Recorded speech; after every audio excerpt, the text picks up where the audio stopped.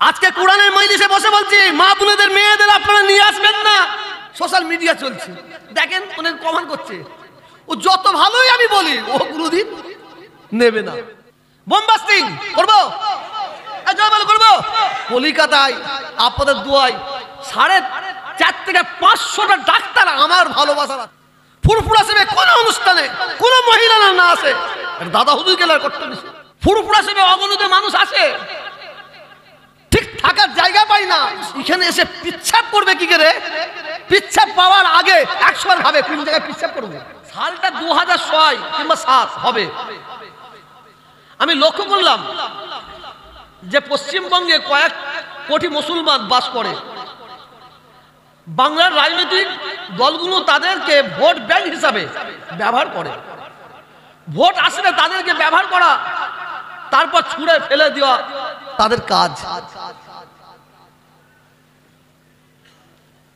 বাংলা জুড়ে আন্দোলন শুরু করলাম, তখন আমাদের একটা বিশেষ রাজনৈতিক দলের, আমাকে একটা বিশেষ রাজনীতি দলের দালাল বলে মানুষ আখ্যাও দিয়েছে। বড় সমালোচনা করেছে, সেই সময় বিশ্বাস করুন, বাংলার মুসলমানদের গলার আওয়াজ দিয়ে বলাটা শিখিয়েছে, আঙুল তুলে বলাটা শিখিয়েছে হাজার ছয় থেকে সাতের মধ্যে তার নাম হচ্ছে তোহা সিদ্দিকি। তোহা সিদ্দিকি।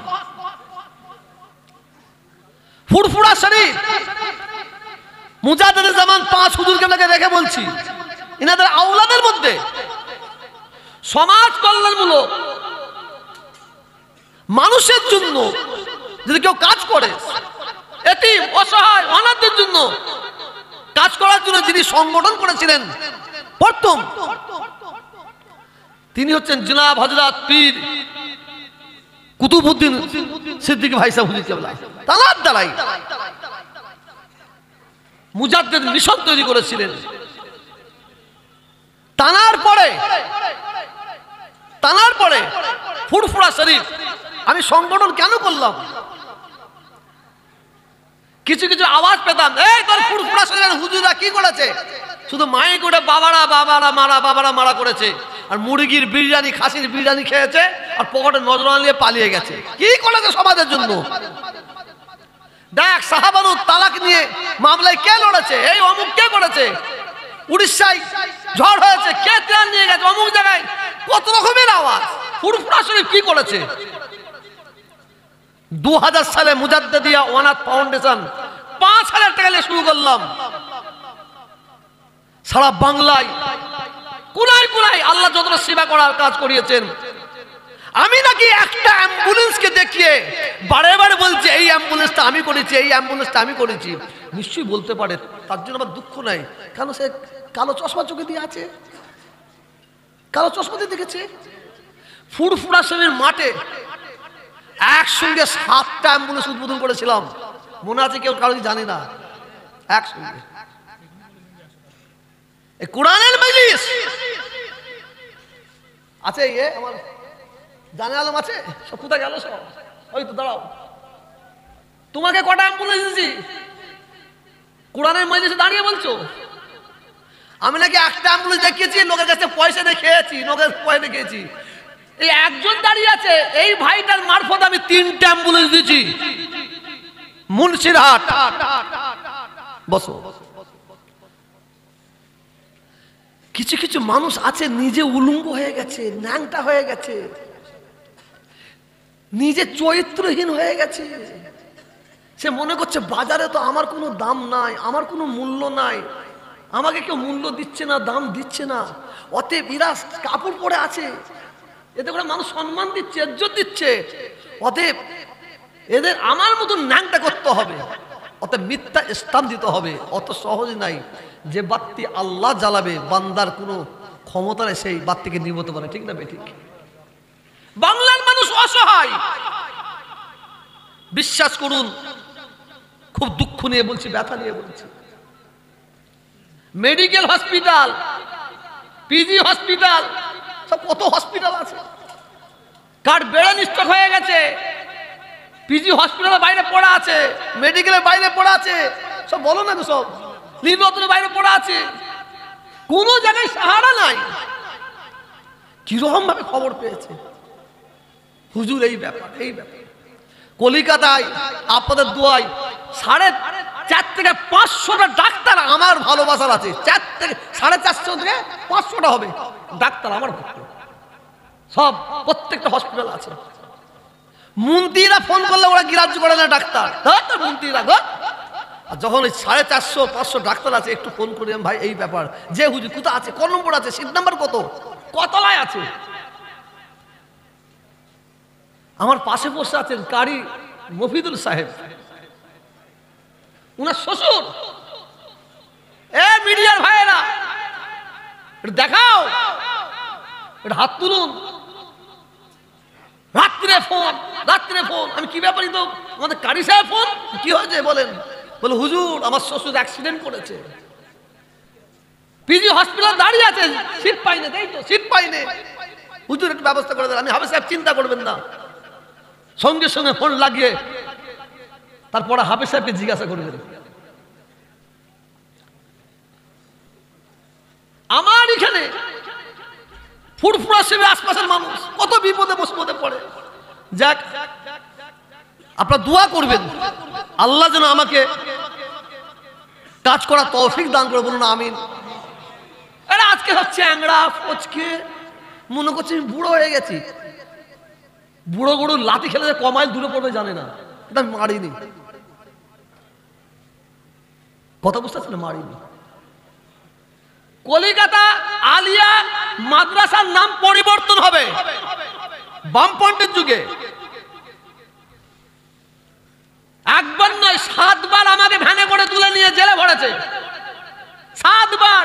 দাদা হুজুর বংশের মধ্যে কোন আওলাদ যদি তেরো থেকে চোদ্দ বার জেলে যায়, তার নাম হচ্ছে তোহা সিদ্দিকি। কলা চুরি করে নাই ব্যাংক ডাকাতি করে নাই কাউকে গালে চড় মেরে নয়। ইসলামের জন্য, দিনের জন্য, শরীয়তের জন্য মাদ্রাসা থেকে আরবিক সিলেবাসটা তুলে দিচ্ছে। দিতে দিতে দিতে দিতে। আলিয়া মাদ্রাসার নামটা পরিবর্তন করে দিচ্ছে। কোনো মতেই মেনে নেওয়া যায় না। আমার বক্তব্য শুনবে সোশ্যাল মিডিয়ায় সেই সময় যেসব ছাত্র বাইরে ছিল, অনুসরণ করছিল, তাদের পাশে গিয়ে শুয়ে পড়েছি। পার্থ চ্যাটার্জি, মমতা ব্যানার্জি সব গেছে। আজকে আলিয়া মাদ্রাসার নাম পরিবর্তন করে আলিয়া ইউনিভার্সিটি হয়েছে। পশ্চিম বাংলার মুখ্যমন্ত্রী আমাকে দাওয়াত করলেন, উনি পাশে আছেন। উনার পাশে রেখে আমি বলেছিলাম, আলিয়া ইউনিভার্সিটির নাম আমরা মানতে রাজি নয়। কেন আপনি বলেছিলেন, যখন আপনি বিরোধী নেত্রী ছিলেন, যে ক্ষমতায় আসার পরে ওই নাম যুক্ত করব। যখন এই কথাটা বলি একদল মুসলমান মুসলমান, না, আমরা আলিয়া মাদ্রাসার নাম চাই না, আমরা ইউনিভার্সিটি চাই ইউনিভার্সিটি চাই। রাজার হাটে। আর একদল বলছে, আমরা আলিয়া মাদ্রাসা চাই। দুটো ভাগ। এ জাতি কীভাবে উন্নয়ন করবে, উন্নতি করবে? মমতা ব্যানার্জি আমাকে আঙুল বেড়ে বলছে, আপনি বলছেন আলিয়া মাদ্রাসা দেখেন না কি বলছে? আপনাদের মুসলমান কি করব? মাথা হ্যাট। এই নতুন বাড়ি, এটা নাকি আমার কি রাজপ্রসাদ দাতা দান করে বকিলের বুক ফাটে। কি রাজপ্রসাদ ভাই? কিসের রাজপ্রসাদ? আমার বাড়িটা উঁকি মেরে দেখে যাবেন। আমার ইচ্ছে গেল, এখানে মানুষ ফুটফুরা শরীফের আসবে, দরবারে আসবে, বেনামাজি হয়ে যাবে, এটা কোনোদিন মেনে নেওয়া যাবে না। অন্তত আল্লাহকে সেজদাটা করুন আল্লাহ মসজিদ করিয়েছে ফুরফুরা শরীফে অগণিত মানুষ আসে, ঠিক থাকার জায়গা পাই না। গরিবি নামাজ খাজা মাইনুদ্দিন চিস্ত হুজুরের দরবারে যাই থাকার জায়গা পাই, এখানে জায়গা পাই না। সেই দিকে লক্ষ্য করে বিশাল আল্লাহ তিনতলা বিল্ডিং করালেন। মেহমানদের জন্য, আপনাদের জন্য। মুসাফের খানা আপনাদের জন্য।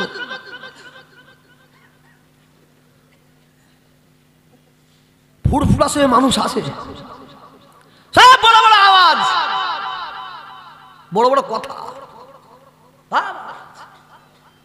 মানুষ এখানে এসে পিচ্ছাপ করবে কি করে? পিচ্ছাপ পাওয়ার আগে একশো বার ভাবে কোন জায়গায় পিচ্ছাপ করব? পায়খানা করব। পায়খানা, একটু পেটটা যে কোনোই ভাবে কোথায় পায়খানা করব? আমার ভাই সাহেবরা সব এক একটা জলসা করে হুজুরকে বেড়া কারও অমুক তারিখ অমুক তারিখ? হাজার হাজার মানুষ আসে। চোখ বন্ধ করে এখানে গাড়ি দান করিয়ে, এখানে এসে উজু করে, বাথরুম করে, একদম ফ্রেশ হয়ে জলসায় যায়। তানাদের জন্য সুব্যবস্থা। সামনে পঁচিশ লাখ টাকা দিয়ে বাথরুম করা হয়েছে। আমাদের প্রধান বলল, বাথরুম হবে, জায়গা দেন। আমি ক লাখ টাকা দরকার? জায়গা কিনে দিচ্ছি। এগারো লাখ টাকা দিয়ে আমি জায়গা কিনে দিলাম। ইশালের সবার সময় মানুষের বিরাট কাজে লাগে। আবার ওই দরবারের মুসাফের খানার ভেতরে চলে যান। সামনে চলে যান। আপনারা দেখেন না এখানে এসছেন, দেখেন না তো? এই মাদ্রাসার পিছনে চলে যান। লাইন দিয়ে একশো জন মাসাল্লাহ উজু করবে। এ তো মানুষের জন্য। আমার, কি বলে? অট্টলিকা। আমার মা বোনেরা আসে। আজকে কোরআনের মজলিসে বসে বলছি, মা বোনেদের, মেয়েদের আপনারা নিয়ে আসবেন না। বিশেষ করে কোনো জলসার মজলিসে আপনারা নিয়ে আসবেন না। যদি জলসার মজলিসে নিয়ে আসেন, জানবেন আপনার দাদা হুজুর পীর রহমতুল্লাহ আলাইহেন এবং পাঁচ হুজুরকে রহমতুল্লাহ আলাইকে অগ্রাহ্য করলেন। হ্যাঁ অনেক মা বোনেরা চলে আসে। অনেক মা বোনেরা চলে আসে। তাদের কি আমরা ঝাঁটা নিয়ে দাঁড়াবো, জুতো নিয়ে দাঁড়াবো। আমরা তাদের বলি, দেখো, তোমরা ফুরফুরা শরীফ এসেছ, পর্দার সঙ্গে এসেছ, পর্দার সঙ্গে ঘোরো, বিহায়া নীলদের মধ্যে ঘুরে বেড়াবে না। কঠোর নিষিদ্ধ। দাদা হুজুর পাঁচ হুজুর কেবলার একুশ, বাইশ, তেইশ এই সালে সবে কোনো মহিলা না আসে ফুরফুরা সেবে কোন অনুষ্ঠানে কোন মহিলা না না আসে দাদা হুজুর কেবলার কঠোর নিষিদ্ধ। পাঁচ হুজুর কেবলার আর আমি দেখছি আমার বাজার খারাপ, কি করব? বেটা ছেলেরা আসছে রে। বলছে, মা বোনেদের এসো। যদি কেউ আসে, সেটা আলাদার কথা। আর যদি কেউ মেয়েদের আসার জন্য বলে, এটা মেনে নেওয়া যায় না। তার প্রতিবাদ কি তহবিল খারাপ।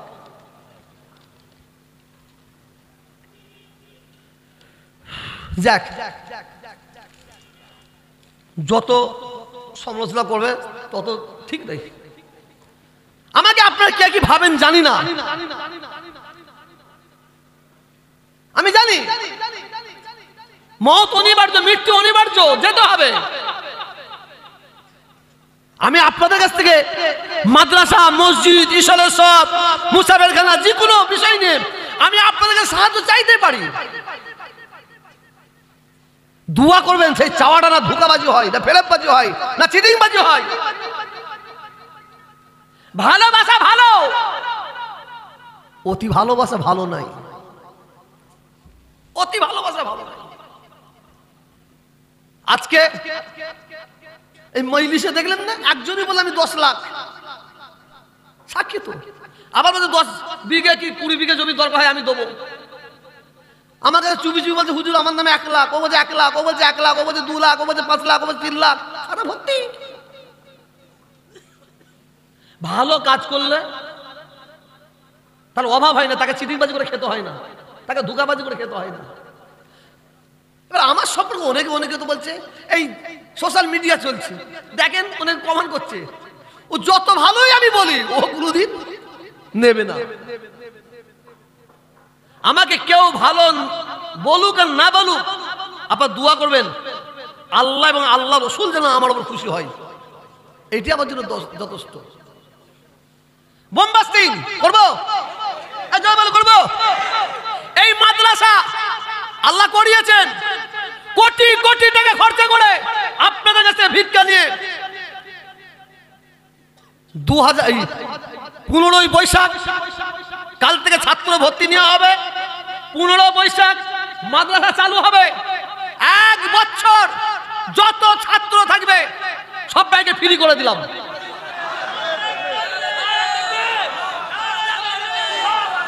এক টাকা নেব না এক বছর সব টাকা আমি দেবো ইনশাল্লাহ একশো টাকা এক টাকা লোবো না।